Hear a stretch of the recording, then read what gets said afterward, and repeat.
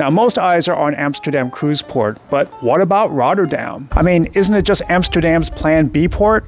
Well, we spent a day here walking around the port area, seeing what's available within walking distance, and gotta tell you, Rotterdam rocks as a cruise port. So, in this video, I'm going to give you five reasons why. I'm Troy, and this is the Port Lowdown.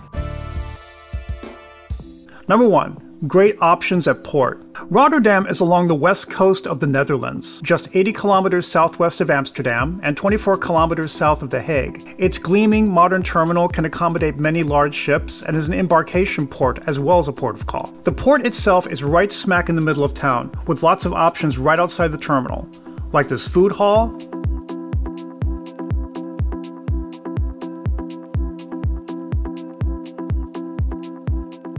the Netherlands Photo Museum,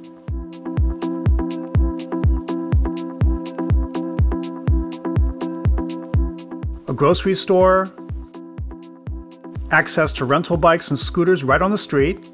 So you can unlock and rent these electric Yes. bikes and also And then the these scooters. electric scooters. Haven't seen that before. Yeah, you get the lime. You get it there. on Google Play or download the download app, the app. The app. Check. The app is called Check. Lime. I believe this one works with Lyft. Yeah, that works with Lyft, yeah. Yeah. Water taxis just next door.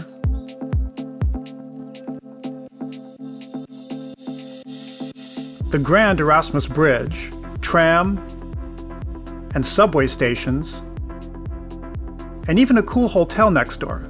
This is as convenient as convenient gets for a large city. If you choose, you can do most of your exploring on foot, crossing the bridge to the main touristed sections of the old town in just under 30 minutes. Number two, less crowded and slightly less expensive. While you do find other tourists here, it's more spread out and way less intense. Even in the heavily touristed areas, it doesn't feel like you're being crushed, unlike similar areas in Amsterdam. And prices here are a bit more reasonable compared to Amsterdam. Not by much, but enough to make accommodations and food stretch further. Number three, lots of cool things to see and do. Rotterdam contrasts with Amsterdam in that Amsterdam is old world classic versus Rotterdam's riotous modern style. The city is hip, lively, and dynamic. Just check out the Tourist Information Office with their free downstairs interactive exhibit on the city's history. Or check out the famous cube houses, the Kijk Kubus where, for a small fee, you can wander this utterly baffling living space.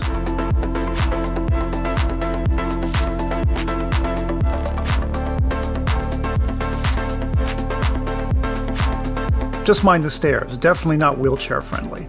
Next door, the famous Markthal food court at apartment complex is a dizzying source of stimulation overload. And good eating, more on that in a bit. If that weren't enough, there's also an open air market.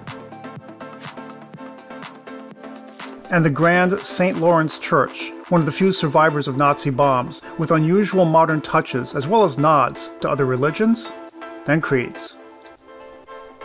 All of this in one small area. We wish we had more time to dig deeper into the many museums and parks.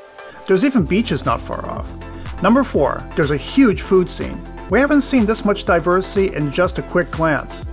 The food hall across the street, for example, has such offerings as Japanese, Mexican, Chinese dumplings, and its great Indonesian Suriname place. In Suriname, we eat sandwiches, Dutch Kalani Uh huh. influence. We eat the chicken curry with cashew. But to really blow your mind, spend some time at the massive Markthal food court. Huh, but where do we start?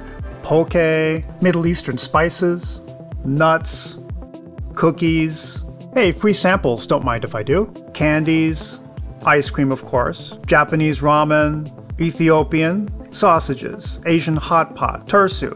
I'm quite sure what that is. Dragon breath candies, a frozen dessert made from cereal dipped in liquid nitrogen.